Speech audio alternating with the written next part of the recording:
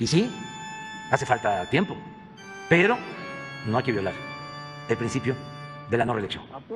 Entonces, hay que pensar en trabajar mucho, de manera intensa, dejar las bases, medir bien todo aquello que pueda ser irreversible, que ya no puedan los conservadores dar marcha atrás, lo más esencial de todo, auspiciar un cambio de mentalidad, porque eso es lo que permite, de fondo, que no haya retrocesos. Entonces, yo termino y van a venir otros y estoy seguro que va a haber continuidad con cambio. En el caso laboral hacen falta muchas cosas todavía, pero pues no se puede todo. Hay que priorizar.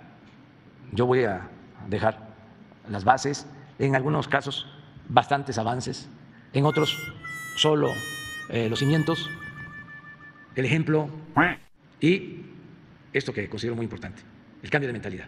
Ayer pusimos un mensaje de la Guacamaya diciendo, ¿sí? al borde de la desesperación, no quieren abrir los ojos. ¿No será que al revés? ¿No quieren cerrar los ojos? Desesperados. No quieren ¿sí? ser como antes, que tampoco era así. ¿eh?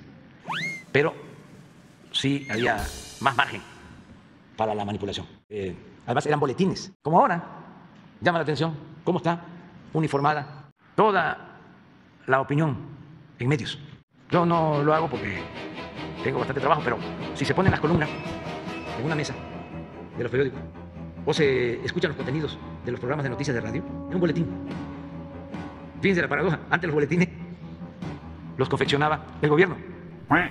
Tú haces boletín y te salen así parejos. O sea, no te hacen caso.